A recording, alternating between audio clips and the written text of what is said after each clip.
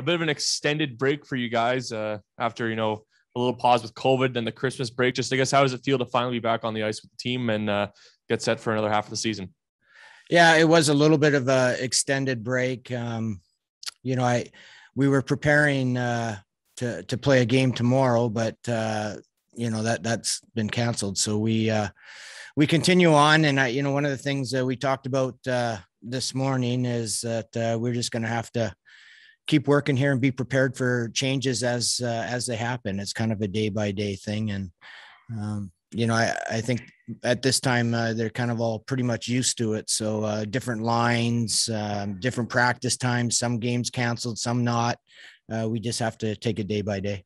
One of the benefits, though, of course, to all that rest has to be some recovery for some of you guys. You know, you see Luke Johnson out there in the non-contact, um, Nick Jones also back on the ice, so a little bit of benefit too, just to get some bumps and bruises healed up.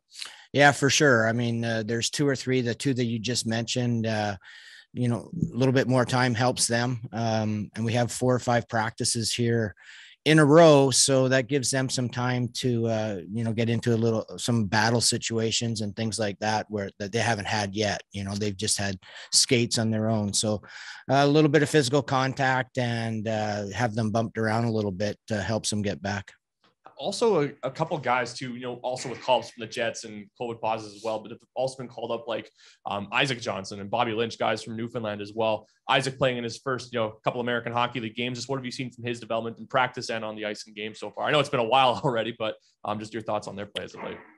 Yeah, Isaac, uh, you know, we've only seen him uh, the one game there, and uh, in Chicago. He was fine. Uh, you know, he did some did some good things, but it's not really enough time for him to to get up to speed with the pace and, and things like that. He needs to play a few back to back games so that uh, he can get used to that. But uh, in practice, he works hard. He you know, and he's strong on pucks, and he he does a lot of good things. And uh, Bobby Lynch, uh, you know, we've known here for a while. We know what he can do. He brings speed to our lineup, and uh, uh, I thought he looked really good today in practice again.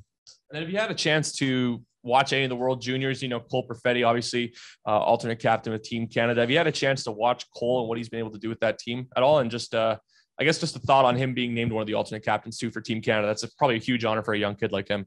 Yeah, a huge honor and probably uh, not probably well deserved. I mean, he he uh, he has leadership qualities in him. Uh, he's a very uh, mature young man and speaks well, and uh, you know he he uh, he'll speak up when when needed. And uh, yeah, good for him. that's great. I yeah, I've watched the World Juniors. Um, he's made some great plays. he reads the ice real well, protects the puck. you see him lay pucks into areas that some other players can't see. So yeah, great vision and uh, as long we hope that uh, he continues to play like he has. We'll go now to Jason Bell. Coach, you. Um, appreciate this. What's right. the difficulty from you know you guys? Uh, I guess you lost your last two. You'd be itching to get back on the ice on Sunday and Tuesday. Those, of course, are on the schedule, but maybe still up in the air. But what's the difficulty of of trying to prepare uh, for for games when you know in this you know everything is so uh, uh sort of unforeseen at this point?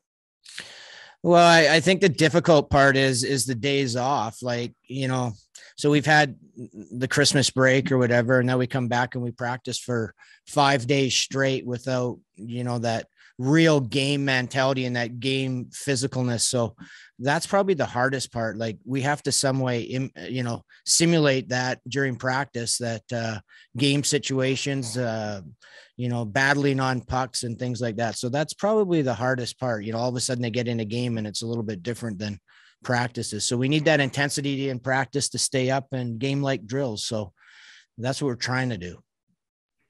As far as one of your key guys, Leon Gawanke, um, I know that, that a lot of people have pegged him as an, an Olympian, and maybe you thought that if if things had gone according to plan, you might have lost him for a little bit of time. But and maybe this is one of the only downsides to being under the NHL contract for a guy like him is that he kind of lumps gets lumped in there. Um, you know, he'll be disappointed. I'll talk to him about that. But what is what has he meant to your hockey club? Well, uh, you know, I, I, think he's been tremendous. Like uh, for starters, uh, him and uh, Chisholm have have uh, played real well together. Um, you know, they read each other real well, and I think that's helped them individually with their own games. But uh, I, offensively, he jumps into the play real well. He sees the ice real well, shoots the puck. Um, he, he's he offensively um, he brings a lot to uh, to our team, and uh, I think his defensive game is getting better all the time. So he skates really well, uh, smart. See, as I said, he sees the ice and makes plays. Um, and the, the big thing for me is uh, in the offensive zone, he jumps off that blue line real well, and uh, you know he reads when to jump in and when not to, and he doesn't seem to get himself into too much trouble, but brings lots of offense.